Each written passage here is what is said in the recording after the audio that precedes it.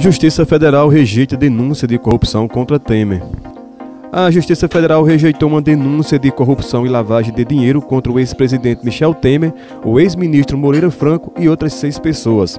A ação foi um desdobramento da Operação Lava Jato e apura pagamento de propina nas obras da usina nuclear de Angra 3. Esse processo estava nas mãos do juiz federal Marcelo Bretas, no Rio de Janeiro, que já tinha aceitado a denúncia do MP.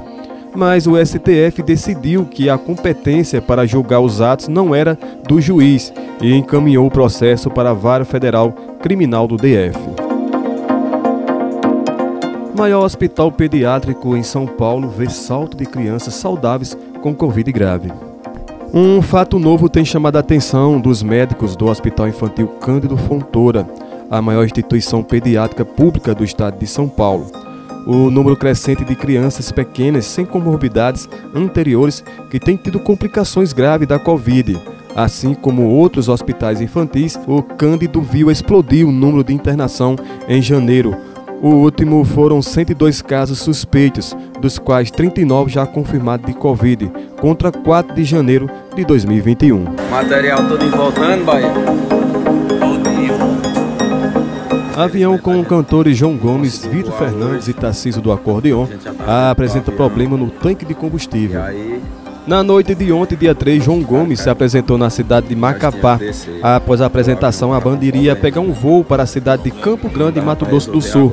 Devido à falha no tanque de combustível da aeronave da empresa Gol, os artistas tiveram que sair do avião, tirar toda a bagagem e voltar para o hotel. Segundo informações publicadas por Nicásio Júnior, assessor do João Gomes, o avião apresentou defeito ainda no solo. Os passageiros foram impedidos de embarcar e o voo foi adiado para esta sexta-feira, dia 4. Tando, Bahia. Todinho, Infelizmente a gente não conseguiu voar hoje. A gente já estava dentro do avião. E aí notificaram que nós tínhamos que descer. Porque o avião tava com probleminha, né? Probleminha. Que não dava para resolver agora.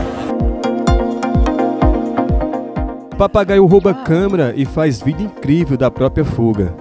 Um papagaio pata leve roubou uma câmera Grupol, filmou a rota de fuga dele em um parque e ainda tentou comer o dispositivo após voar com ele. Além de ladra, a ave ainda demonstrou admiráveis habilidades audiovisual e fez uma excelente filmagem do voo e das belezas do Parque Nacional na Nova Zelândia.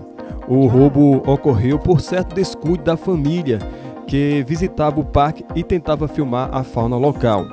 Por sorte, Lucas, um dos filhos do casal, achou o objeto pouco depois, após procurar entre algumas pedras próximas. Apesar de arranhões no case protetor, a câmera estava intacta.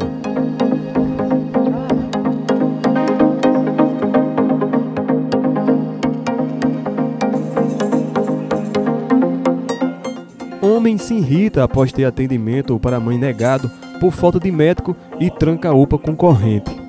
Gabriel Ferreira Campos, de 36 anos, buscava auxílio médico para a mãe de 73 anos que tinha sido queimado por uma lagarta. Mas ele teve o atendimento recusado com a justificativa de que não havia profissionais médicos no plantão, de acordo com o portal G1. Para a Polícia Militar de Minas Gerais, o homem disse que se revoltou ao ser encaminhado para a UPA de Brumadinho, cidade vizinha, somente depois de esperar pelo atendimento, de passar pela triagem, em vez de ser direcionado na chegada da unidade. Por isso, ele se revoltou lá na entrada principal da UPA, impedindo a entrada e saída de funcionários e pacientes. Com a chegada de PMs ao local, Gabriel retirou o lacre, liberou a entrada da UPA e se comprometeu a comparecer na delegacia quando for solicitado e por isso não foi preso.